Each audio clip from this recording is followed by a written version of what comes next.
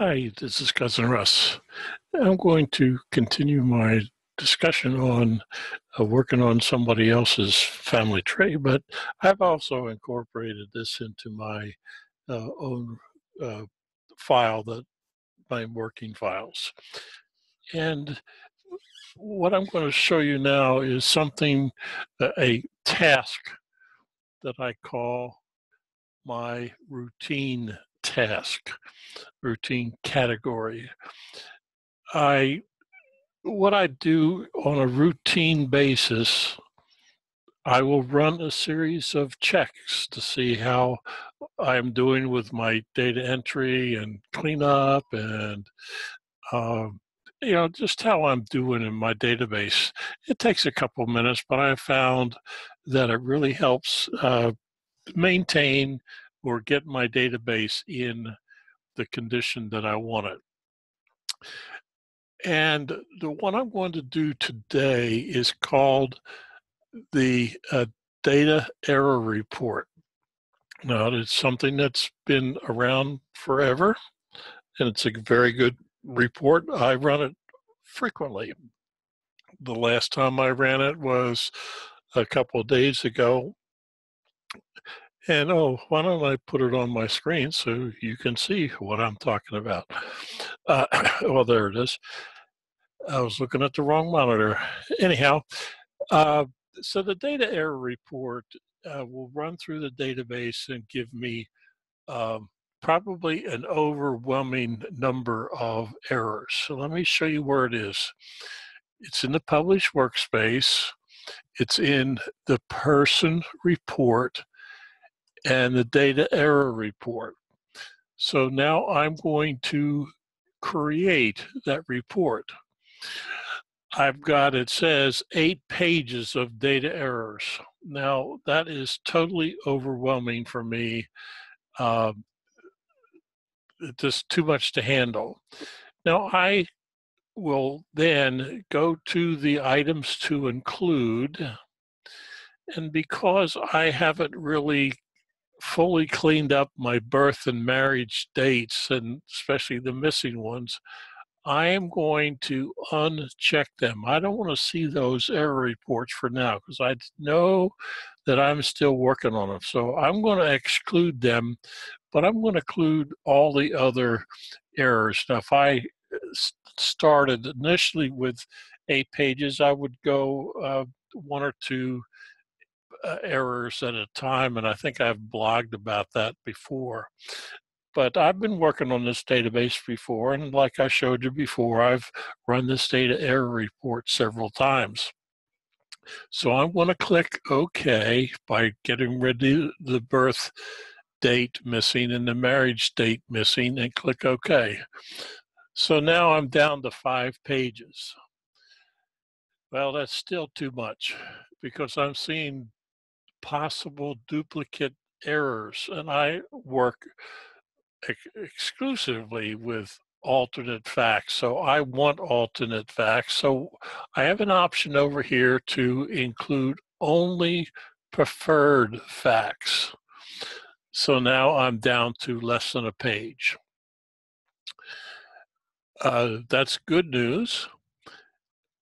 But I've already got well, let me just show you what I'm going to do with this. I'm going to click on this last one who says that the individual's children's sort order may be incorrect. So I'm going to double click on that and I bring it up, but I have no way to get to my to-do list. From the options that are available in Family Tree Maker 2017 at the time, there's no way to get me directly to this person and their to-do list. So what I have created is a custom fact, a user fact called data error report. So I'm going to select that.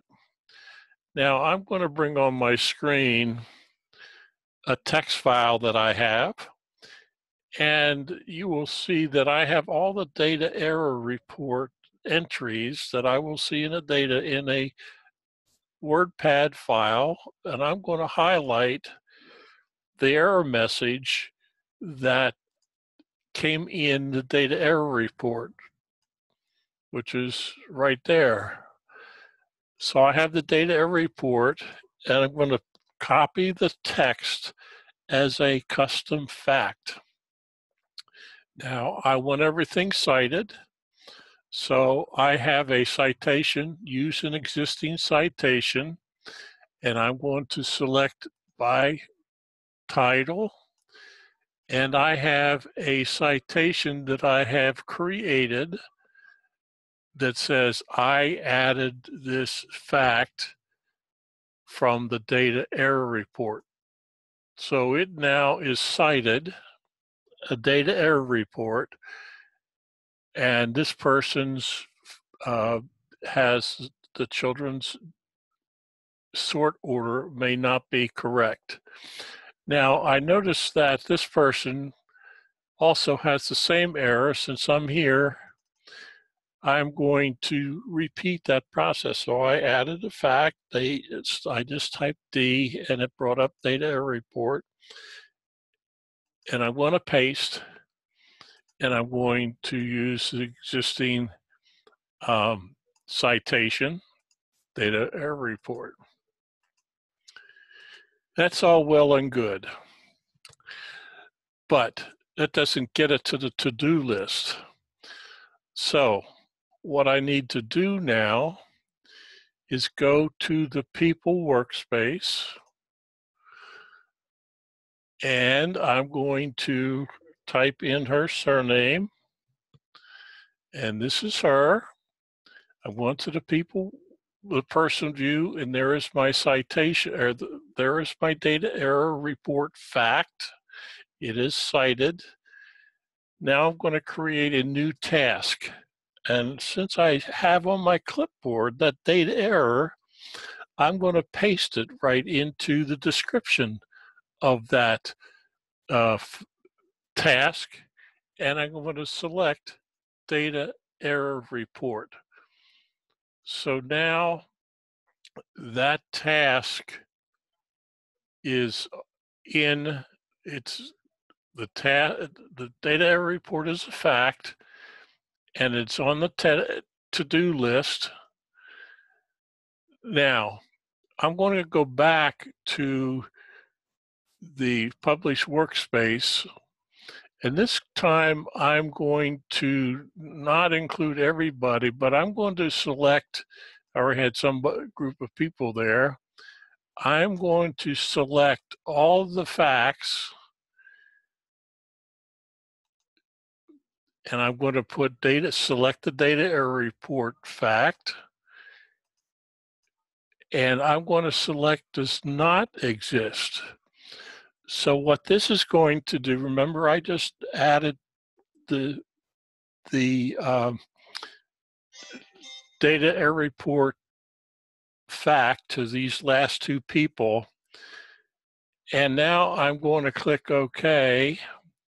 Now there are 258 people in my database that do not currently have a data error report fact. And I'm going to apply that. So rather than running the report on everybody in my database with a data error, I'm only looking at those who I have not already identified. As you can see, I lost those two people uh, that were in that data error report. So I've already handled them. I already handled one for this video, but I will go fix the other one. So uh, the purpose of this is so that I can go back to my to-do list. Now this is the routine and I just did that routine and I haven't completely haven't completed it. So that's why it's at, up at the top. I'm going to click and select data error report. I'm going to get rid of the routine tasks. And their uh, children are out of order. Let me scroll down.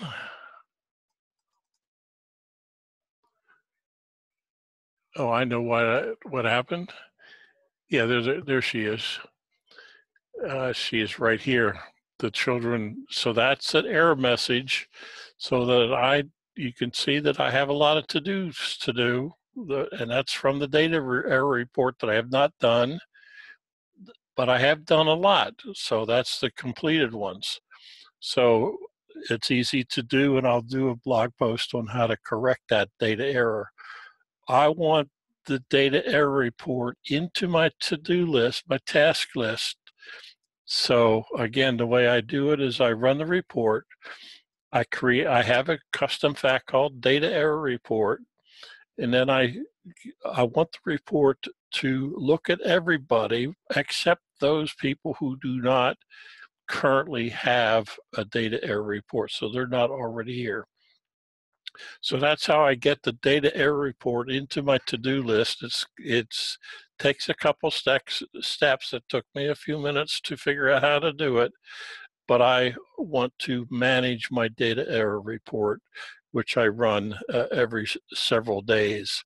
Which is why my list is pretty small, but I, as you can see, I have had 74 items uh, uh, let me just show you that at the top of the screen.